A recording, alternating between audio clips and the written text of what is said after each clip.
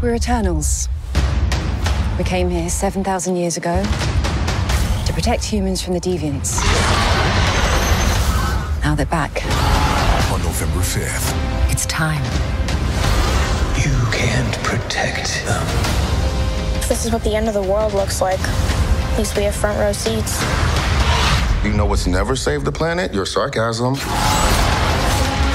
Marvel Studios Eternals. Rated PG 13. Get tickets now. We're Eternals. For 7,000 years, we protected humans from the deviants. Why didn't you guys help fight Thanos? Or any war, all the other terrible things throughout history? We were instructed not to interfere until now. You hear that? Eternals assemble.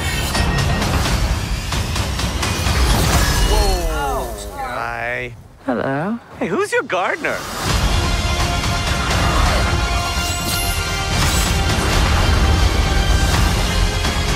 This planet and these people have changed all of us.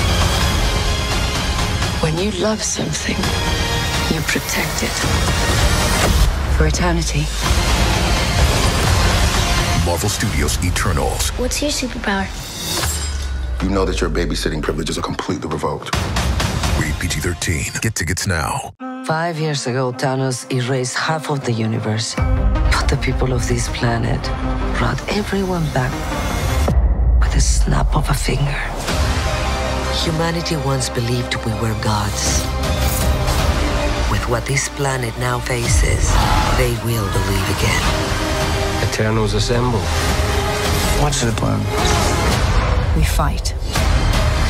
Marvel Studios Eternals. Rated PG 13. Only in theaters November 5th. You're about to meet the greatest warriors the world has ever known. Legendary. Fashionable. Powerful. Well, I'm sure that was a lot of fun for you. It was. On November 5th, the Marvel Universe Play nice. becomes eternal. So, what's your superpower? You know that your babysitting privileges are completely revoked, right? Marvel Studios Eternals. Rated PG 13. Only in theaters November 5th. We're Eternals. We came here to protect humans from the deviants. When you love something, you fight for it. Dad, I saw him on TV with the cape shooting laser beams. I don't wear a cape.